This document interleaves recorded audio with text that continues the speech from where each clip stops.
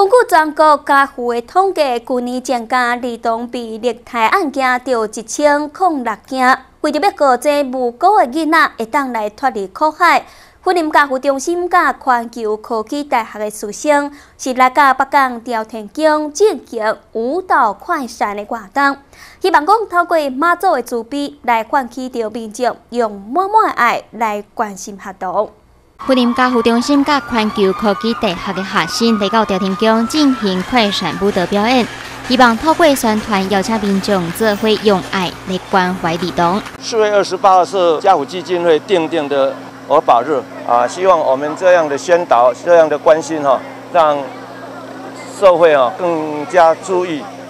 每个家庭或是社区里面有一些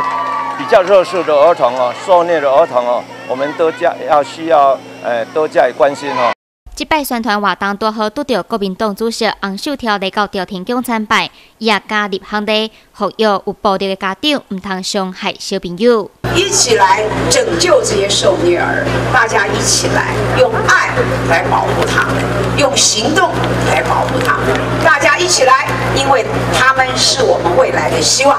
伫家护中心的努力下，儿童被苦的案件确实有减少，不过也是有继续努力的空间。根据卫福部的统计，其实云林县的开案数今年比去年降低了将近有三百个。三百案，显然就是云林现在儿儿童保护的这个服务的推动，其实是都有在努力在做有进展的。北港店长也俄勒福林家护中心对儿童的照顾，同时也希望厝边头尾有看到儿童被害，会当勇敢并主动站出来，能够重视受虐儿，重视我们的儿童，重视我们儿童教育。所以说，那个关怀儿童，哎，需要大家一起来啊！我们家护中心。可以说呢，对我们儿童保护这一个区块呢，做的真的很好。在我们的日常生活当中，如果有发现儿童虐待的问题，也欢迎随时拨打一一三，或者是上网。关怀一起来进行网络上的通报，让我们能够及时的帮助这些家庭跟小孩。囝是生来疼惜的，不是要来互人苦读的。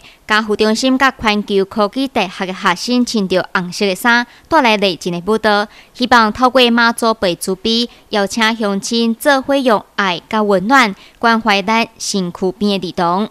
记者郭永平采访报道。